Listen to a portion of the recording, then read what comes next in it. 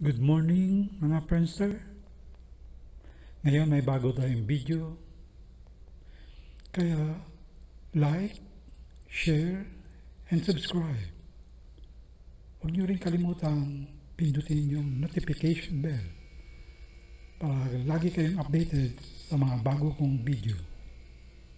Kaya ngayon, umpisa natin yung ating bagong video. Okay?